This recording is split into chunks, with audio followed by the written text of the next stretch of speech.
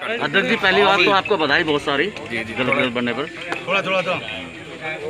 मेरा मेरा सवाल ये है कि क्या रहेगा आप पहले भी जिलाध्यक्ष रहे हैं अभी चुनाव आने वाला है एक डेढ़ साल दो साल बाद क्या प्राथमिकता रहेंगी आपकी? आदरणीय राष्ट्रीय अध्यक्ष श्री अखिलेश यादव जी ने मुझे मुरादाबाद जनपद का जिलाध्यक्ष बनाया है और मुझ पर भरोसा करा है। मैं आदरणीय राष्ट्रीय अध्यक्ष जी को बहुत बहुत धन्यवाद करना चाहूँगा।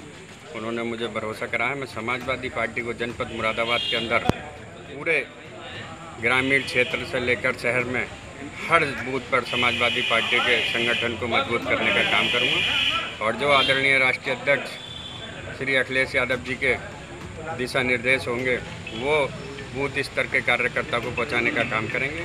और आगामी विधानसभा के चुनाव भी सिर पर हैं और पंचायत के चुनाव सिर पर हैं। सबसे पहले हमारा पंचायत के चुनावों को टारगेट है और अपने ग्रामीण स्तर पर, हर बूथ स्तर पर एक मज़बूत कार्यकर्ता खड़ा करेंगे, जिससे हम ग्राम पंचायत, बीडीसी, जिला पंचायत में भारी बहुमत के साथ समाजवादी पार्टी के प्रत्याशी जीतें और ज़िले के चेयरमैन पर भी कब्जा करेंगे।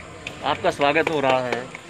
कोरोना पर आपका स्वागत भारी पड़ रहा है। क्या कोरोना को नहीं मानते का सब सफ़ाई कार्यकर्ता? ना, सब लोग सोशल डिस्टेंसिंग का पालन कर रहे हैं और सबने मास्क पहन रखे हैं और पूरा नियम उसका पालन कर रहे हैं, फॉलो कर रहे हैं और सैनिटाइजर का सबका प्रयोग कर रहे हैं।